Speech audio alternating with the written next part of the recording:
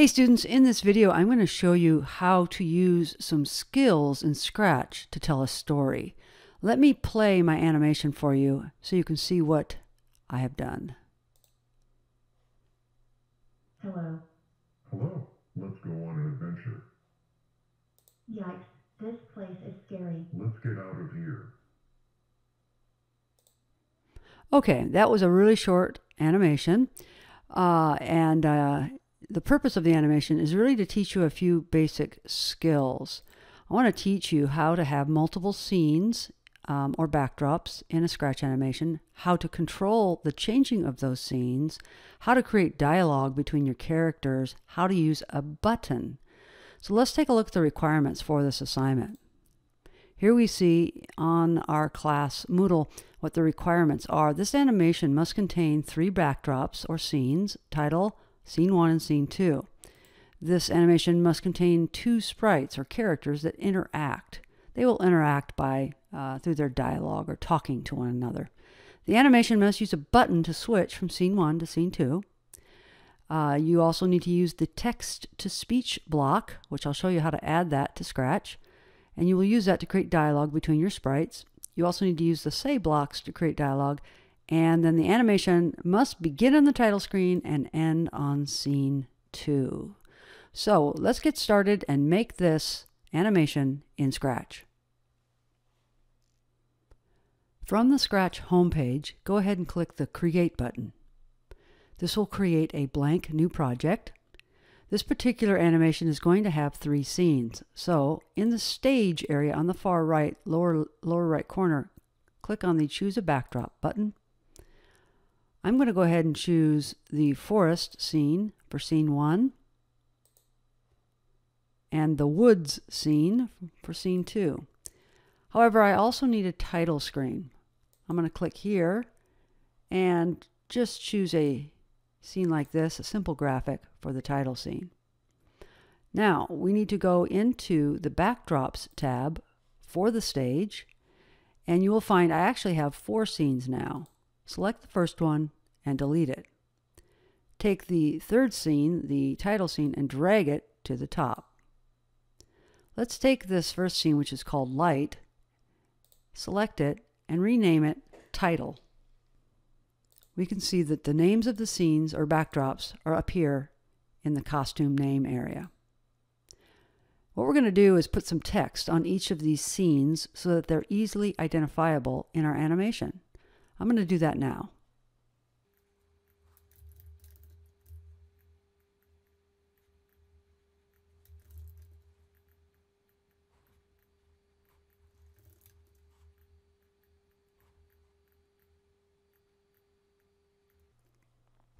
Okay, you can see I now have three scenes with text on each one. It would be nice if you even changed the font and the color of the font in each scene. Now we need to code the backdrops. So we're going to, with the stage selected, go to the code area for the scenes and do the following. When green flag clicked, under looks, switch backdrop to the title. This will cause the animation to begin on the title screen, which we want. Under control, select wait two seconds, giving people an opportunity to read your title, and then switch to our second scene, which is the forest. In addition to having three scenes, our animation also needs to have two characters. We already have the cat, but we need to have another character that can interact with the cat. So let's click on choose a sprite. I'm going to use the penguin as my other character. It's always a good idea to rename your sprites, so let's call the cat sprite cat. Now when the animation begins, we do not want to see the cat or the penguin. So we need to add some code that will make these sprites hide. Select the cat, go to Events, when green flag clicked, under Looks, find Hide. Now we see when the green flag is clicked, the cat disappears. Do the same for the penguin.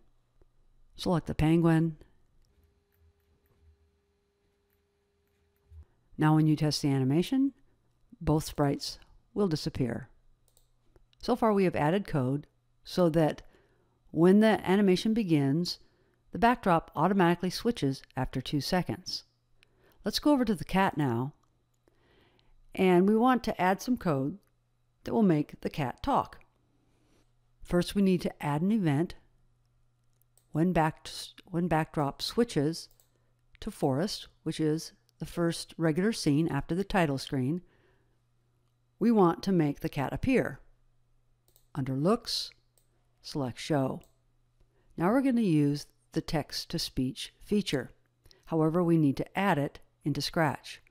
Down here is the Add Extension button. Click on it, find the text to speech option, and when you add it, you will now see a new set of blocks at the bottom of your toolbar called text to speech. The first thing we want to do is set the voice for our character. There are five different voices to choose from. I'm going to use alto for the cat. Now we want the cat to say hello. And then we'll wait two seconds.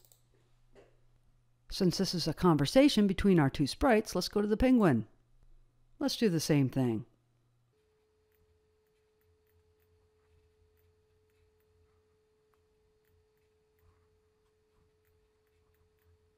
For the penguin, I'm going to use the giant voice.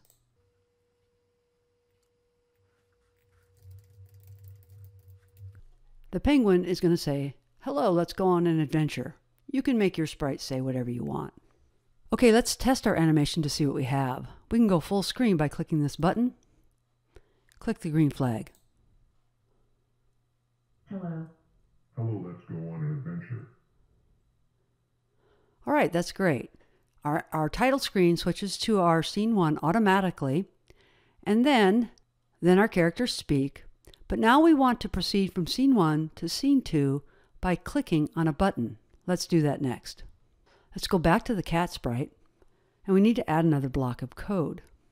Under the Looks palette, let's pull out the Say for three seconds. The cat will say, click the button for three seconds. Now we need to create a button. Go to our Sprite button, click, search for buttons. We see there are several styles. I'm going to choose the second one. The button appears on the screen. Pull it to the lower left corner. We need to put some text on it, so let's go to its costume. Choose the text button and type in the middle, next scene. That looks good. Now we need to code the button. With the button selected, let's choose when green flag clicked and hide. This will cause the button to disappear until we're ready to use it. Add the following code to the button.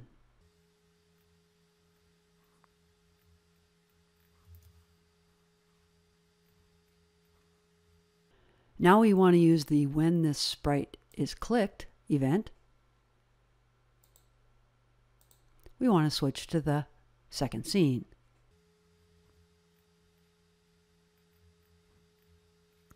When we get to the last scene, we want that button to hide. Okay, let's test our animation again. Go full screen, click the green flag. It will wait and then go to the next scene. Our go on an characters talk, and we're prompted to click the button. Click next scene, which should, should bring us to scene two. There you go. We're getting close to being done. Now we want to add the dialogue between the cat and the penguin in the last scene, and then have them leave the scene to finish the animation. Select the cat, add a block for when backdrop switches to the third scene. We want the cat to speak again. Something like, Yikes, this place is scary. Now I'm going to have the cat move. So I'm going to use a repeat block. First, set the rotation style to left right. Use a repeat 10 times. Move in a positive direction. Wait a half a second. And move the same distance in a negative direction. I think I'm going to make that wait a little shorter. There you go. That looks good. Now let's do something similar with the penguin.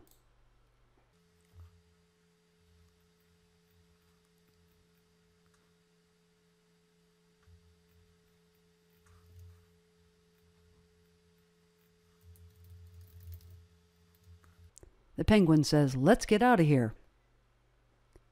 Point him in the right direction. 90 means to the right. And we want him to glide off screen to about here. You move your character to a spot on the screen, then you can see the X and Y values. He's at about 215 and negative 70. However, if we move a character to a spot like that at the end of the animation, we need to make sure that he's in his original position here at the beginning of the animation. So move him back, find the values, we'll say 72 and negative 10, and make sure you move him there when the animation begins. So when green flag clicked, go to 72, negative 10. That should do it. Let's test this entire animation. Hello.